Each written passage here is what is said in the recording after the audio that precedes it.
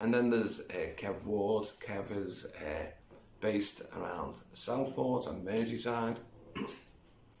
Kev is a former heavyweight world champion. For a number of years, he's excelled, and he talks about the experience of, of being in the ring, but being so intuitively aware of what's what's happening that uh, he recognised the, the, the way the way somebody moved and the patterns and the way that they were moving what they intended to execute. And he predetermined that within his mind because he recognised the pattern and he was able, therefore, to defend prior to the execution of his opponent's technique. It was a bit like a game of chess. He was reading the game and he understood the moves, and he felt that in that essence, he really was in flow. And again, Kev explains his story of how he experienced flow.